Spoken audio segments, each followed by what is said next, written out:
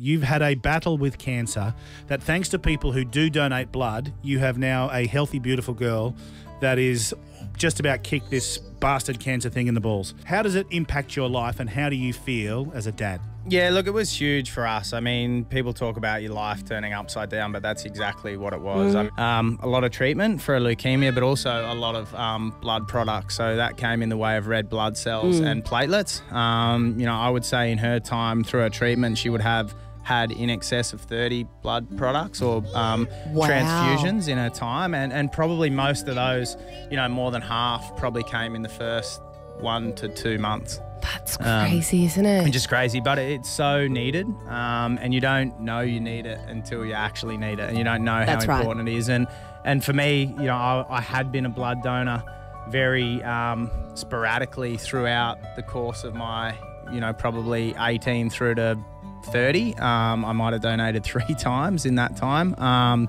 and then now, you know, for me, it's seeing how important it is and, and what it means to people who actually need it. Yeah. Um, For us, you know, it's trying to get in re- regularly and, and make it something that we do. Seeing Aspen today with her hair back, this beautiful mop of curly blonde hair, she will be the imprint on my brain when I'm donating blood on Thursday next week. Absolutely.